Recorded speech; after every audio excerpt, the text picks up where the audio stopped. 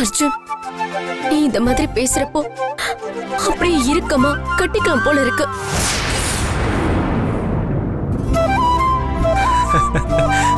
கொஞ்ச நாள் பொறுத்துக்கோ. கல்யாணம் முடியட்டும். அப்ப உரிமையோட கட்டிக்கலாம்.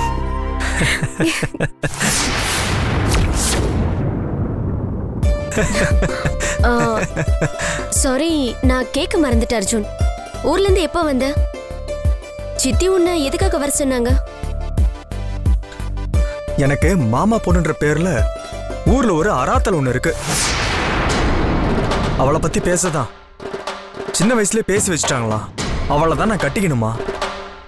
அதான் நல்லதான். எனக்கு அப்படி கடுப்பாயிருச்சு. நான் சித்திக்கிட்ட தெளிவா சொல்லிட்டேன். யாரோ ஒரு லூசு ஏன் மேல பைத்தியமா இருக்கான்றதுக்காக ஆதிரவை என்னால மறக்க முடியாது. அவ எனக்காகவே பிறந்தவ அதுதான் உண்மைன்னு சொல்லிட்டேன். என்கிட்ட சண்டை போடுற ஆதிரா என்கிட்ட என்ன குறை? என்னை ஏன் கல்யாணம் பண்ணிக்க கூடாதுன்னு என்கிட்ட நேரவே கேக்குறேன் நான் ஒன்னும் உயிரா நினைக்கிறேன்.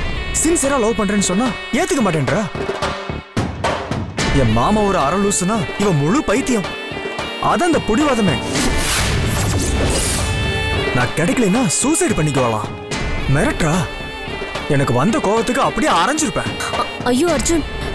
என்ன இருந்தாலும் அவன் நம்மளால பாதிக்கப்பட்டவ. கோவத்துல திட்டிட்டியா? திட்டாம?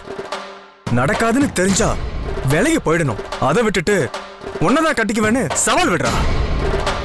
நீ செத்தாலும் நடக்காதுன்னு நான் ஸ்ட்ராங்கா சொல்லிட்டேன்.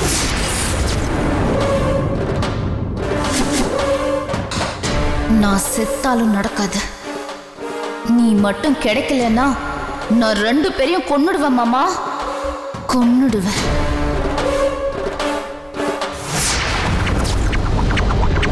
Hello.